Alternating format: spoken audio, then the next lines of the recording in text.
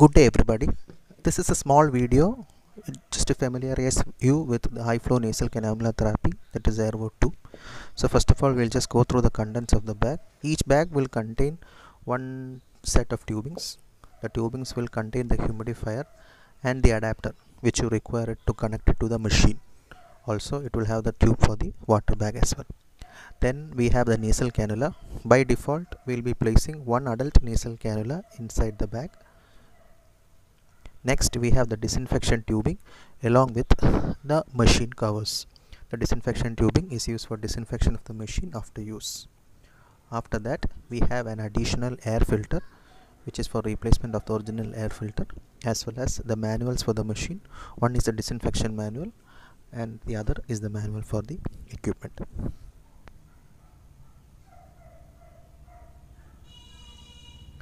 now next we will see how we are going to connect the humidifier.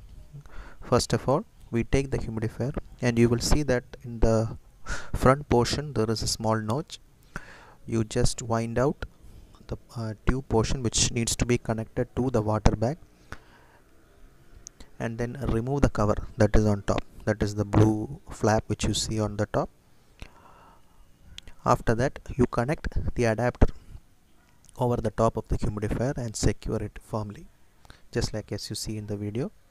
You take the tube out and connect it to the machine such that the portion comes in front the indicated portion in the video comes in front.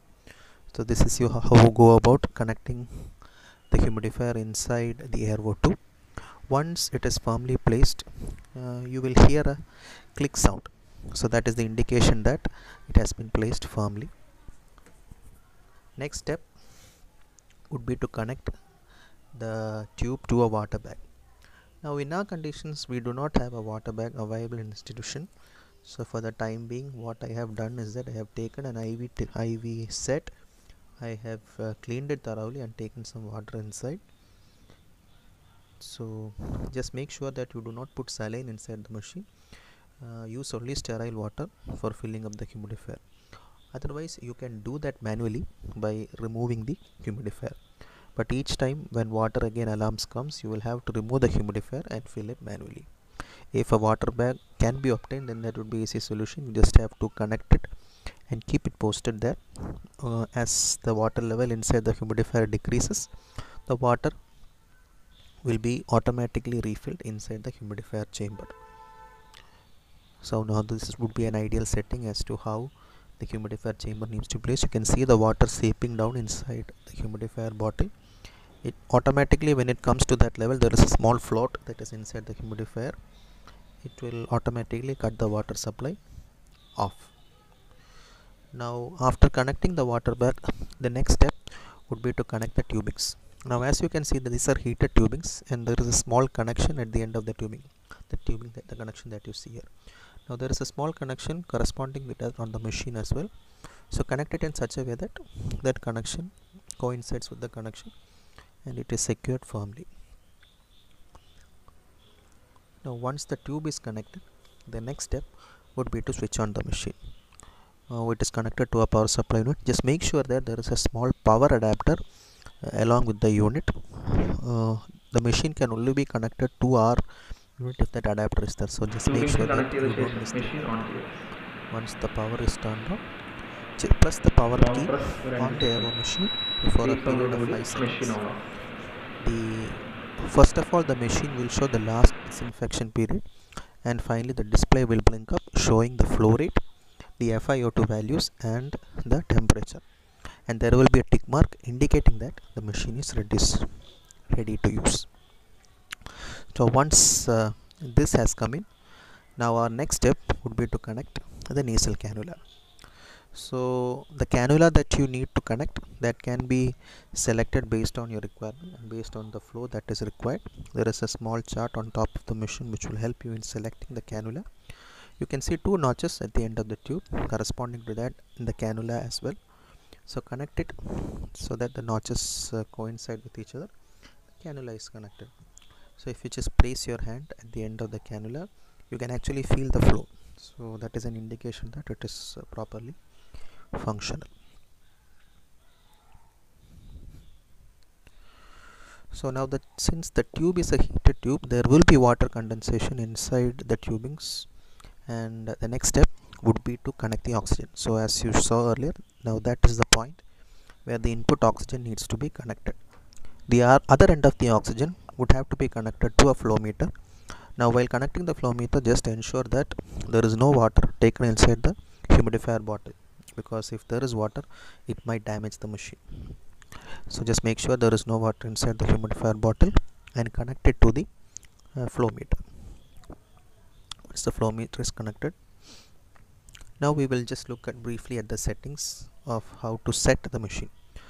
Now there are only three settings that is temperature flow and uh, FiO2 now FiO2 you cannot set in the machine. That is set based on the O2 fl the flow that is set in the flow meter. The other two values are set in the machine. Now by clicking on the play button you can access all the settings. Once first time you click play you get the temperature settings. The second time you click play you get the flow settings. And the third time you click play you can see the FiO2 value now to change any settings press the up and down button together. You will see that the setting will start to blink and the upper and the lower limit would be displayed. Once that happens you can uh, select the desired value by clicking the up or down button. Once you select the values just click on the play button to confirm the same. When you click on the play button you will see that a log sign will appear which indicating that the setting has been completed. Now click on play button again and you select flow as mentioned earlier press the up and down buttons together. The setting will start to blink. Using the up and the down buttons you can now set the desired flow and select play. Once that is played you can see the third setting coming up that is the auto saturation. So as mentioned earlier the auto saturation cannot be set within the machine. It has to be set by adjusting the flow of the flow meter. So let's say now we need to set a flow of uh, 60 uh, that is uh, an FiO2 value of 60 so to get the FiO2 value of the setting 60 what you need to do is you keep the settings you keep the screen to the FiO2 screen and start increasing the flow.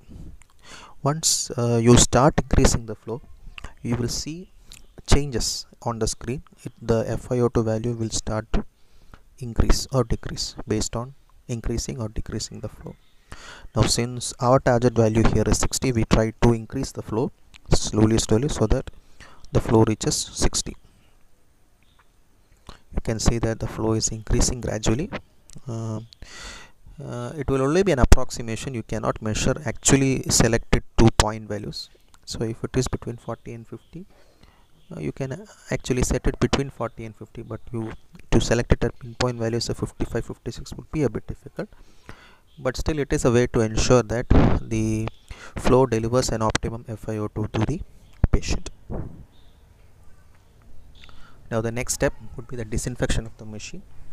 So first of all before disinfection you need to turn off the machine. So before turning off the machine the first step would be to cut off the oxygen to the machine. So you turn the flow meter off so that the oxygen supply to the machine gets disconnected. Once the oxygen supply is disconnected press the play button press the power button for 5 seconds and the machine will turn off.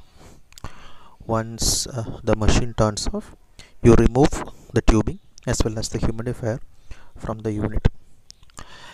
Uh, as mentioned earlier there is a disinfection tube that is applied along with the machine which is uh, red in color.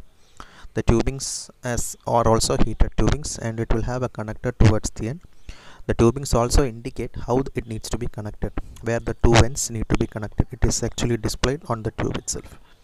So you just need to connect it as mentioned in the tube. The connector end just take it up connect it and lock it firmly in place. And the other end you connect it to the other point and seal the other one with the connector that is already available. And then just switch on the machine. When the machine is switched on it will automatically go into the disinfection mode. You can actually see a red uh, loading screen coming up. It will be red in color. And once it turns on it will automatically go into the disinfection mode showing you the disinfection timer. Now the process will take 55 minutes. So once it is complete just make sure that you connect the tubings and uh, the disinfection is complete